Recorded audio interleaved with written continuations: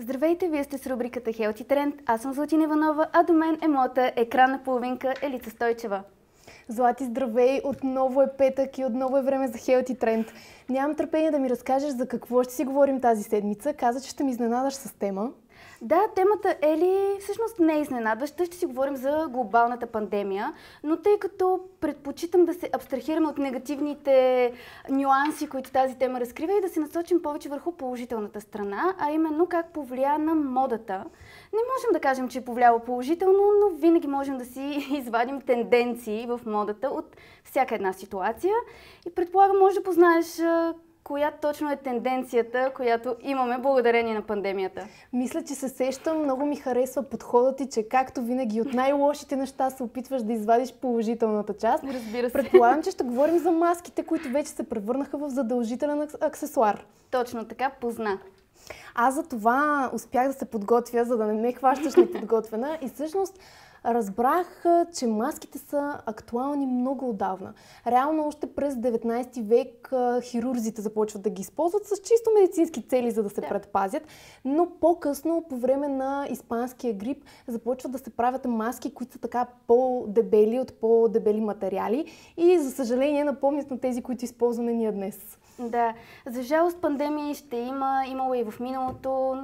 Иска ми се да кажа, че няма да има за бъдеще, но няма как да кажем такова нещо, няма как и да обещаем, колкото можем, и да сме да, положителни. Можем само да си го пожелаем. Да, за това нека хвалим наистина поглед към миналото, защото историята на маските е интересна. Всъщност, това, което ми направи впечатление, когато си правихме ресърча, е, че през 39-та година в Америка отново е върлувал грип, който е налагал да се носят маски. И двама холивудски актьори всъщност заснемат фотосесия с маски. Това е корицата на списание Look, която, съм я, да. да, която повлиява доста положително на хората и ги кара да носят маски. А, след това списание Vogue, миналата година, април месец, португалският, португалското издание на списание Vogue също се опита да направи подобна фотосесия. Смятам, че стана наистина много красива корица. Освен всички примери, които ти изброи, още преди COVID, много клипове и много артисти залагаха на противогазите. Има изключително интересни да. модни решения с тях. Разбира се, аз ще ти дам един по-скорошен пример. Наскоро премина седмицата на модата в Мадрид и там, честно да ти кажа, почти не забелязах модел, който да няма маска върху лицето си. Имаше много сполучливи попадения, макар че, честно, за мен не е приятно да нося маска. Не знам Със при теб как е. Не е приятно, да, но дизайнерите са много креативни личности и в момента мисля, че няма дизайнер, който да не е включил в своите колекции маска, която да се съчетава по изключителни начини с визиите. Дори в дадени моменти някакси сякаш завършва визията. А, като говорим за мода, в момента ми изкочи още една картина, която някак си ме връща към изкуството, защото мода и изкуство, знаеш, вървят ръка за ръка. И това е картината на Рене Магрит Любовници, която също е по подобен начин вдъхновена.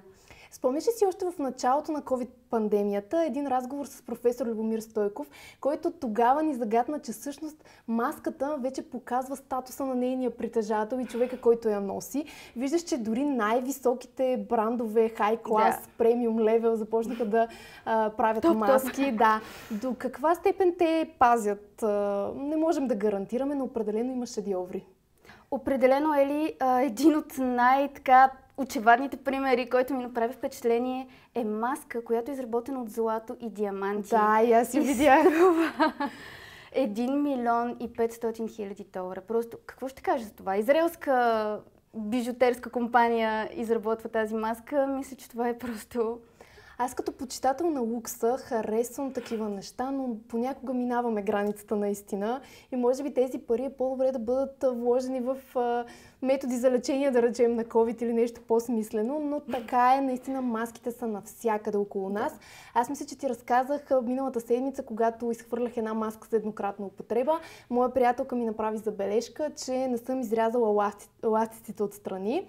Всъщност се оказва, че това е много важно, защото да. в момента целият свят е замърсен изключително много от тези маски за еднократна употреба, а пък птиците и други животни а, заплитат своите крачета в тях и наистина се случват много неприятни а, инциденти с да. различни животни, така че е много важно действително маските по някакъв начин да се рециклират.